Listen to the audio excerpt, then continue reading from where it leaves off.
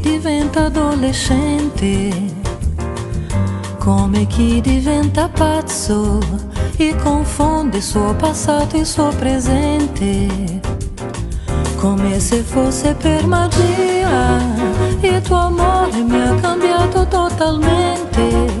Che miracolo, vita mia, questa gioia che tu Oi, eu tô aqui em Ilha Bela, que aqui eu queria mostrar esses cardumes gigantes que se aproximam das costeiras e das praias de norte e sul de Ilha Bela, que também deixam muitas pessoas em dúvida sobre qual espécie seria.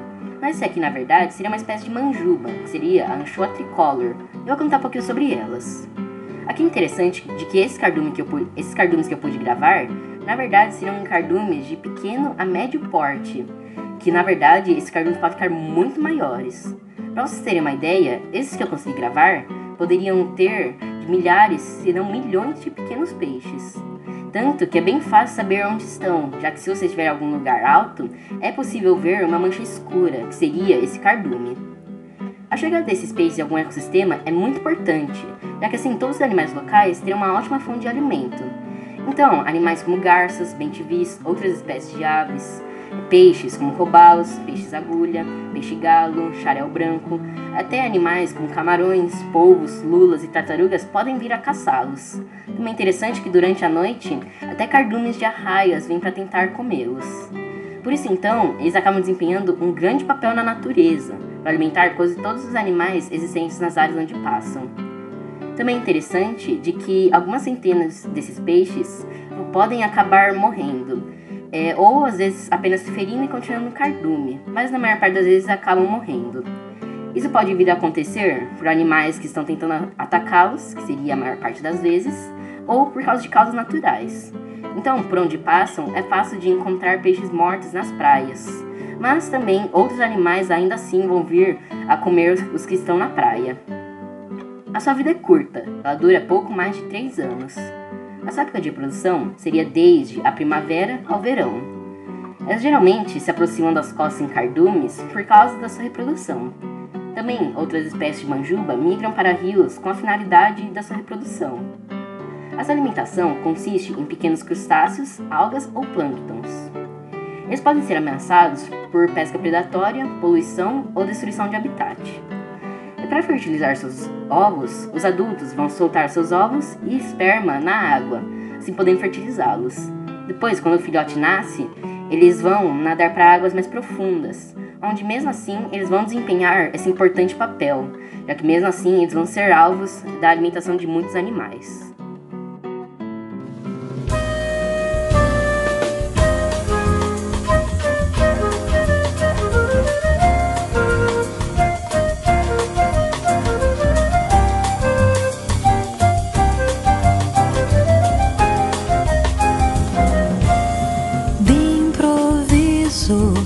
Come un bimbo che diventa adolescente, come chi diventa pazzo e confonde suo passato e suo presente, come se fosse per magia.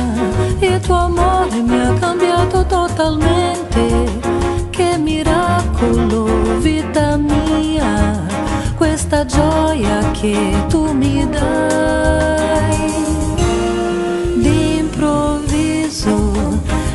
impazzisco per seguirti con la mente, sia di notte che di giorno, io ti vedo in ogni volto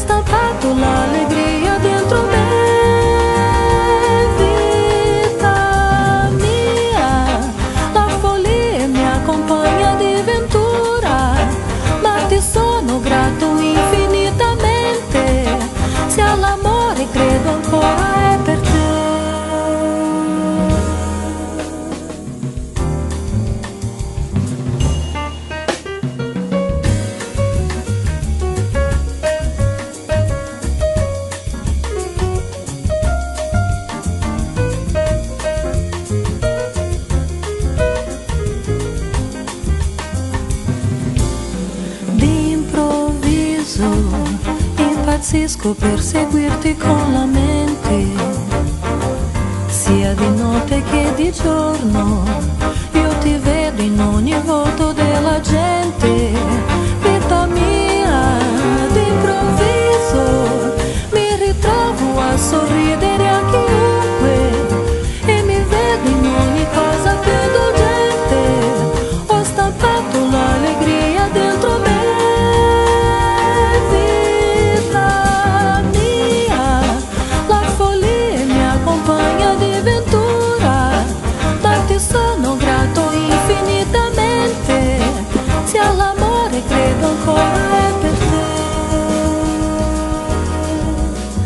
perderte.